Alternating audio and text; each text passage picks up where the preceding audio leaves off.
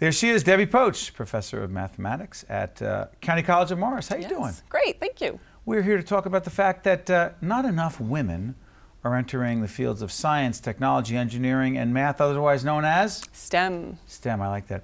Um, Debbie, let me ask you something. I'm curious about this. First of all, why are women not entering these fields at higher rates? What's up with that? Is there some sort of barrier? Yeah, um, really, it's a stereotypical barrier. You know, growing up, girls are often pushed into those fields.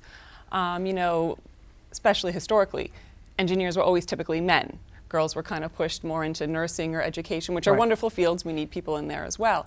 But we're finding that girls, you know, they can perform in the maths and the sciences. They do perform in the maths and the sciences. When given the opportunity. Absolutely.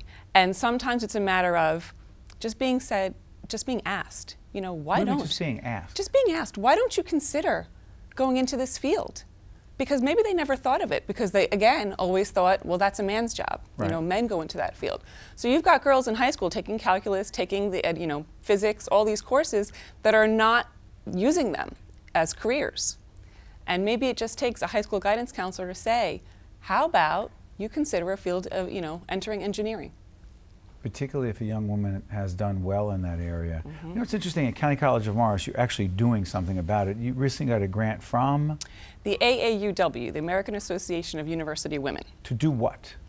to try to attr- attract and retain women into the STEM fields? How? Well, it's about um, reaching out to our own students, um, identifying high performing students that maybe have declared liberal arts majors. Sure. You know, a lot of them aren't sure what they want to do, and just saying, hey, you know what, you have a real aptitude in this area. How about you give it a shot? You know, how about you come work with us and see, you know, take an engineering class, take a math class, take a you know physics class, and see where you can go with that. Um, we're also reaching out to area high schools and trying to attract the girls before they leave. And again, telling them, look, you know, you're taking calculus, you're taking physics, you're taking chemistry, biology, you're doing well in it. Let's think of a career in this. And so your institution is actively engaged in doing that Mm-hmm. through this grant. Why, by the way, why would that American Association of University Women. Women do that? Because they're very involved in just promoting everything that can um, help women be more successful. And in the STEM fields, women who um, have a STEM career earn 33% more than women in a non STEM Whoa, field. whoa, whoa, whoa, back up. 30, on average, On average. a woman who enters a field related to science, technology, engineering, and math will earn 33% more annually Than than if than what? than any other career that's non non STEM related. Wow. Yeah. And in fact, the, um, there's still a gender imbalance in terms of salary, even in the STEM fields, but it's much smaller. But the other thing I was thinking, I was just saying this to Jacqueline Heyer, our producer, I, I, right before we got on. I said, "So, like, what's the difference?" I mean, I mean, it, it would be great, first of all, that they would earn more, um, because it helps the economy, and it helps their family. But then I thought, what is the difference in terms of the field itself contributing to the success of the field?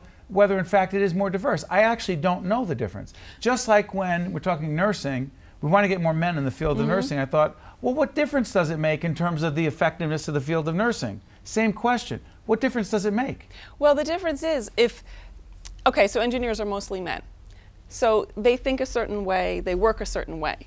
Women come in, we bring different um, modes of operation to the table. Is your brain wired Diversity. differently? Brain are wi- Do you really believe that? I do. That women's brains are wired differently, think about problems, solving problems differently than men. Yep. Which means what in terms of the field itself? In terms of the field itself, women um, often will more group work, more cooperative, you know, problem solving, whereas men, sometimes a little bit more competitive, um, want to do things a certain way on their own. Women bring a more diversity to the table. For example, because men, um, predominantly the engineers, voice recognition systems, right. okay, designed by men. The earliest voice recognition systems did not recognize women's voices Really? because they were calibrated to men's voices. Same thing with airbags. The first airbags designed man's body. They weren't thinking about women and children. So women and children were killed in accidents that My were God. avoidable. So the quality of the products being produced will ultimately be better when there are more women in the field. Exactly. For everybody.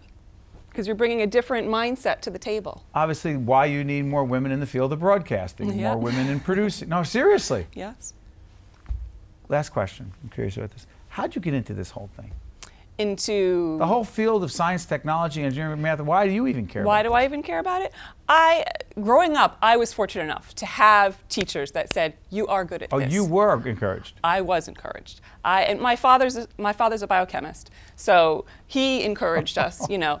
Um, but in in school, my favorite math teacher happened to be a woman, and she was like, you know, you've got it, go for it, kind of thing, you know. And that really, oh, you know, I can, I am just as good as the How boys sitting in the matter to classroom. you?